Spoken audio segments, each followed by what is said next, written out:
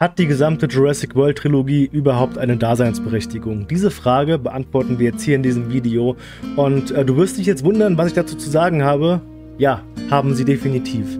Warum das so ist, erkläre ich dir gleich. Viel Spaß mit dem Video.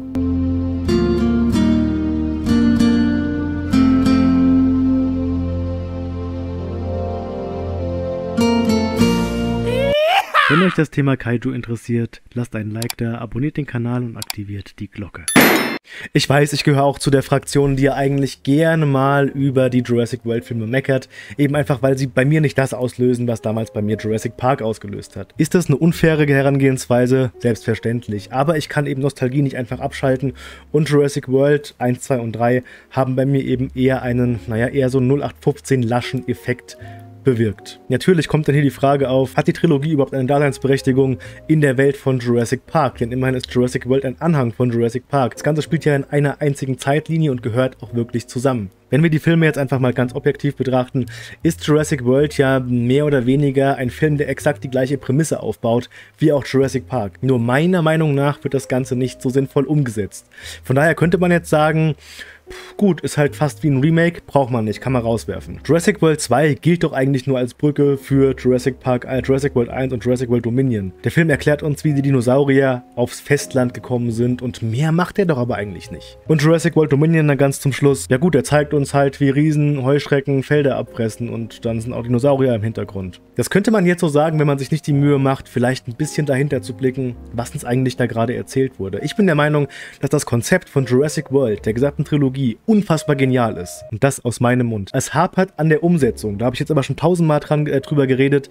Meiner Meinung nach ist das Ganze falsch umgesetzt worden. Warum das Ganze aber einfach Sinn ergibt, das sollte man nicht ausblenden. Wir haben in Jurassic Park 1 gesehen, dass wir Dinosaurier erschaffen können. Und nicht einfach aus dem Nichts heraus. Nein, wir nehmen verschiedene DNA-Stränge, fügen die zusammen und kreieren dann eigene Lebewesen. Sogar in den Büchern wird schon aufgeführt, dass bestimmte Dinosaurier bestimmte Fähigkeiten haben, die eben aus diesem diesem Zusammensetzen verschiedener DNA-Stränge resultiert. Das heißt, wir haben hier auch nicht einfach nur eine reine Dino-DNA, wir haben hier schon angefangen, verschiedene DNA-Stränge zusammen zu kombinieren, haben dann gemerkt, das funktioniert. Moment.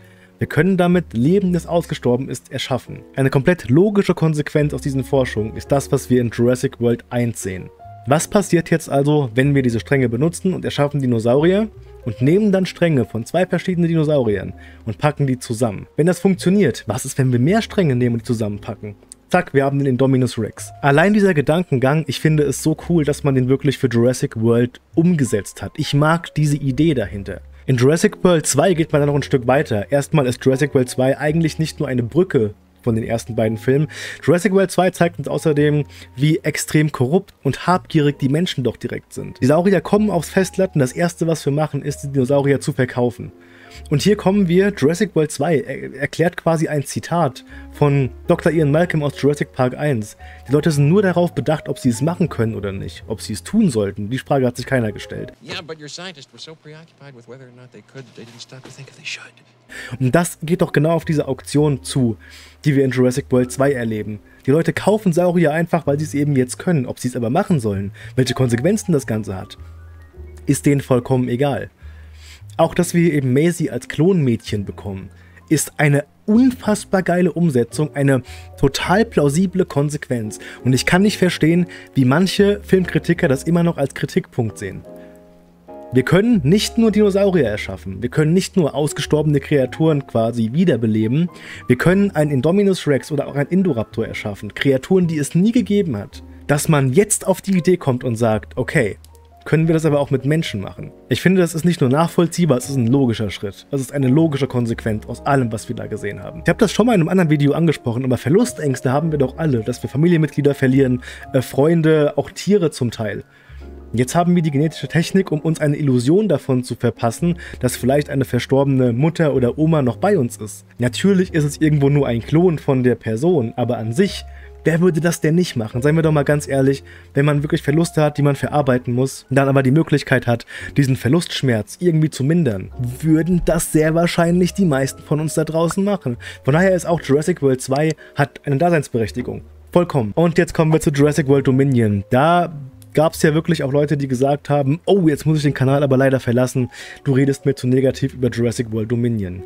Ich mochte den Film nicht wirklich, weil mir hier das Grundkonzept nicht also das, das, also das Grundkonzept war nicht das, was mir versprochen wurde. An den Heuschrecken hängen sich ja auch wirklich ganz viele Leute auf. Ich unter anderem auch. Aber auch das ist wieder, und ich kann dieses, die logische Konsequenz, jetzt müsst ihr jedes Mal entricken, wenn ich sage logische Konsequenz, aber auch das ist noch wieder komplett nachvollziehbar, weil die Umsetzung ist ein bisschen dämlich geworden. Biosyn hat sich damit komplett selbst entlarvt, wenn sie die einzigen sind, deren Saatfelder nicht abgefressen werden und die Heuschrecken sind, derart nicht, äh, sind derartig groß.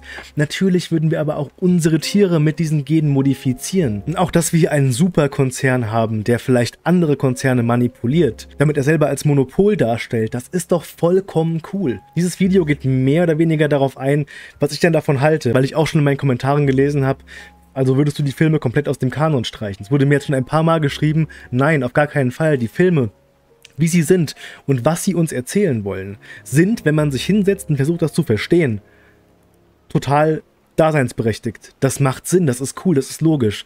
Nur bei mir ist es eben die Umsetzung, die ich sehr kritisiere. Auf diesen Standpunkt wollte ich euch nur nochmal bringen, auf den Kommentar wollte ich jetzt nochmal eingehen. Und jetzt haben wir das Thema Jurassic World Dominion noch, glaube ich, fürs erste Mal abgehakt. Vielleicht gibt es hier noch ein paar Theorienvideos dann dazu, aber ihr wisst jetzt, was ich davon halte. Ich sage, Jurassic World ist vollkommen cool, dass es das gibt. Ich verstehe, warum ihr Jurassic World so mögt und ich hoffe aber, ihr könnt auch nachvollziehen, warum ich persönlich sage, meins ist es eben nicht. Und damit bin ich für heute raus mit dem Video. Ich wünsche euch was.